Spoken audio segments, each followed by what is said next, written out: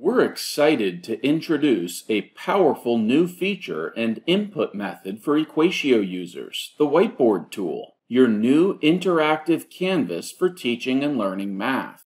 This dynamic tool allows you to draw shapes, arrows, lines, freehand annotations, text entries, and even embed YouTube videos directly onto the whiteboard.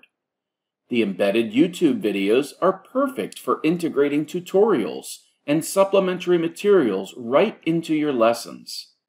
There are many features to like about this whiteboard tool. Let's start with the customizations. Each shape can be altered to your liking, including color, background, stroke width, stroke style, sloppiness, opacity, and more.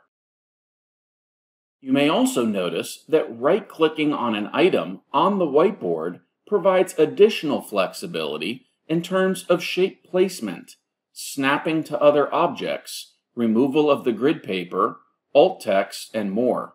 And that's not all. We've included all the shapes you love from Equatio MathSpace right inside the whiteboard. This means you can access all the math manipulatives from MathSpace right from within the Equatio toolbar.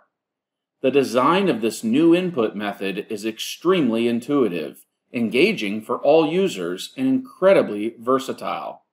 Equatio can really empower educators and inspire students. With Equatio's whiteboard tool, we're taking a giant leap forward in digital math education. Join us and experience the future of learning.